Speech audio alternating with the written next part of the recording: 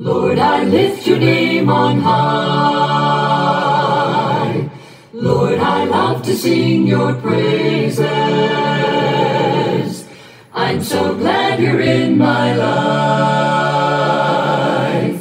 I'm so glad you came to save us. You came from heaven to earth to show the way from the earth to the cross. My debt to pay from the cross to the grave, from the grave to the sky. Lord, I lift your name on high.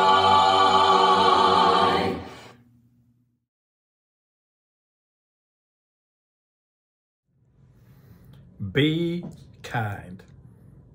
Sounds like a command to me. The Apostle Paul tells us to put on then as God's chosen ones, holy and beloved, put on compassionate hearts and kindness. Be kind. That is a choice. And that means it doesn't depend on the other person. It depends upon me. I want to be like Christ. I want to please God. So it doesn't matter what the other person has done. I choose to be kind. But if I'm going to obey that command, I need to understand and define what it means to be kind.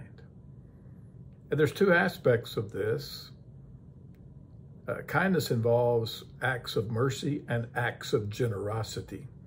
If somebody has done something inappropriate, I can be merciful to them. The Bible says that I need to forbear.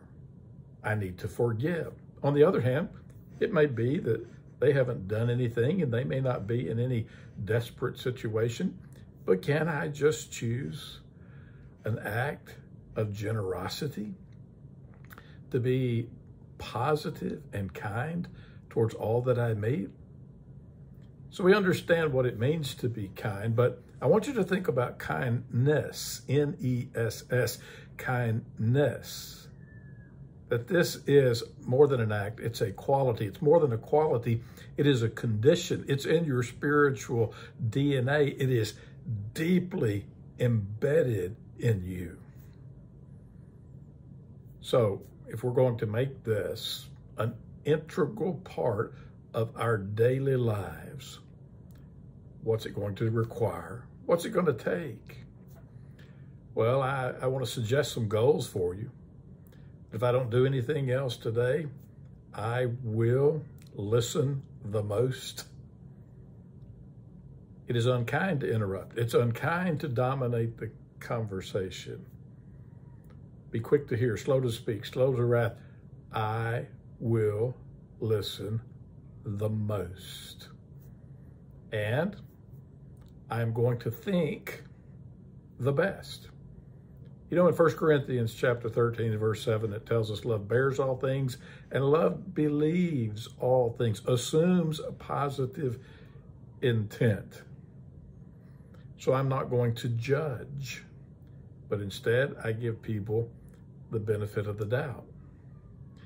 I will listen the most and I will think the best, and I'm going to speak the good.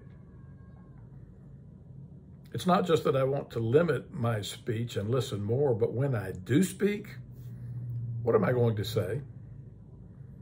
I can criticize if I please, but why not just put that away?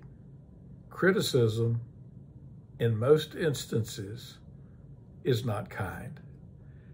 And so instead, I need to speak those things that edify, those things that impart grace, those things that build people up. I'm going to listen the most. I'm going to think the best. I'm going to speak the good. And I am going to serve the least, the least of these. Jesus said, if you do it unto the least of these, my brethren, you've done it unto me. And so I'm going to refuse to ignore people.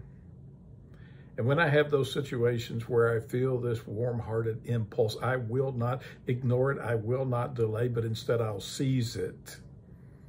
And I will become a kinder person. If we're going to be kind, it's going to take several things in our lives. We're going to need to be patient Love is patient and kind. You can't be kind without being patient, and you can't be patient without being kind. They go together. And one of the problems in our life is we're just in such a big hurry that it makes us irritable. Irritability is not kind. So I need to slow down and take time for my spouse, take time for my children, take time for my neighbor. Be patient. You'll be kinder. And be courteous. Incivility is a great problem in our society. And I, have got to be careful that I don't treat you with incivility. I need to think about what I say and what I do so that it will show respect. Don't treat others with indignity. Recognize their human dignity. Recognize that they're created in the image of God. So I, I, don't want to be insensitive. I don't want to be uncivil. I don't want to be irritable. Those are not kind. And you know, you think about several instances in the Bible where people did those very things. Kindness is not harsh, it's not cruel, it's not malicious. But you think about some characters in the Bible, like Cain. Was Cain kind to his brother Abel? No, he was heartless and unfeeling. When I think about Cain, I remember his remark, Am I my brother's keeper? there was a problem.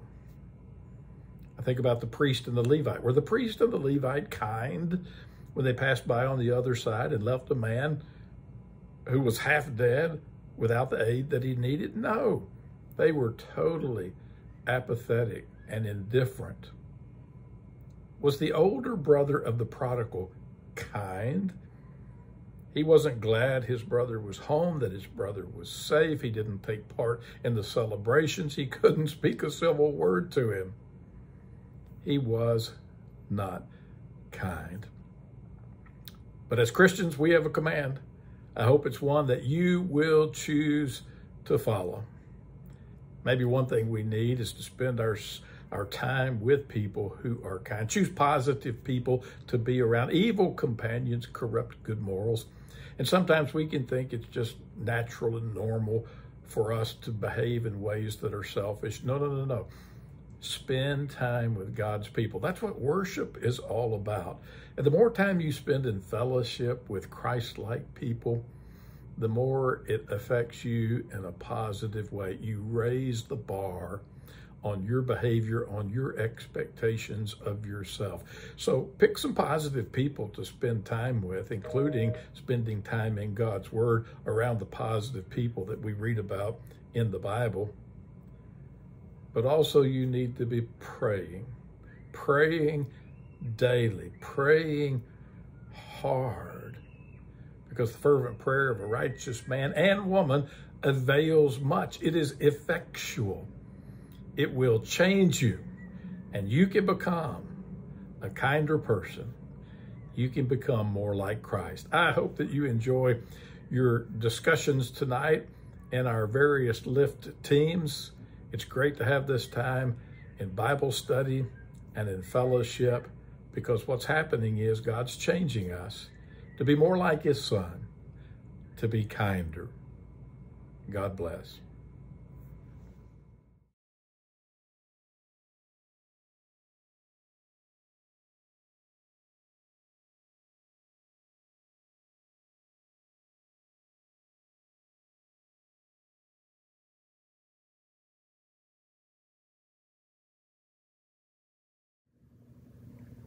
You came from heaven to earth to show the way. From the earth to the cross, my debt to pay. From the cross to the grave, from the grave to the sky. Lord, I lift your name on high.